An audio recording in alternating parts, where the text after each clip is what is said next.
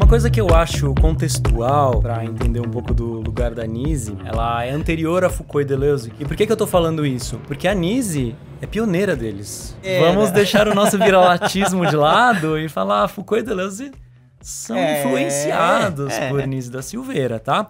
Mas claro, para estender um pouquinho essa questão de história, é, ela foi também a gente fala, ah, ela é importante para o movimento antimanicomial, mas ela veio antes também. O é. movimento antimanicomial floresceu mais né, ao longo dos anos 70 e as experiências dela, se claro, duram toda a vida, ela vai falecer só no final dos anos 90, mas se concentram antes, até no período de, de 40 em diante ela já está ela é. já está fazendo altas experiências. Nos anos 70 essas coisas estão florescendo.